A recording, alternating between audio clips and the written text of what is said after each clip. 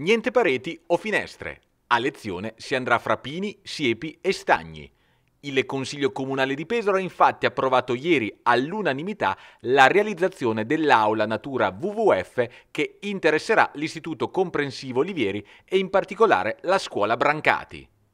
L'approvazione è il risultato di una mozione presentata dai consiglieri del Partito Democratico Anna Maria Mattioli e Giampiero Bellucci e recepisce l'attenzione di WWF Italia per la realizzazione di strutture didattiche all'aperto volte a conciliare natura e esigenze di distanziamento sociale e di salubrità dell'aria.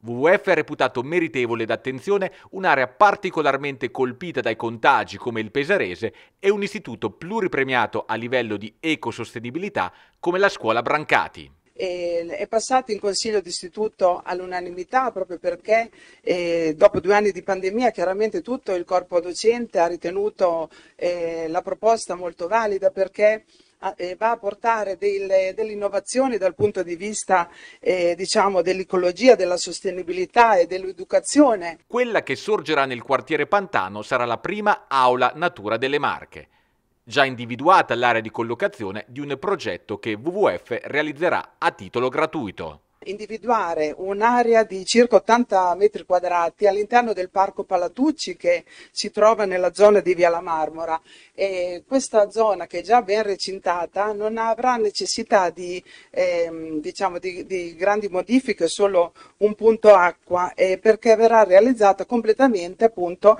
dal WWF Italia. Il valore di quest'aula è di 15.000 euro eh, completamente a titolo gratuito che viene donato. Verrà realizzati appunto, dicevo, un, uno stagno al centro di, di quest'aula, un piccolo stagno con eh, degli habitat eh, per eh, diciamo, lo studio di microorganismi. Poi ci saranno dei bike hub, eh, un'area per l'osservazione della, della vita delle farfalle.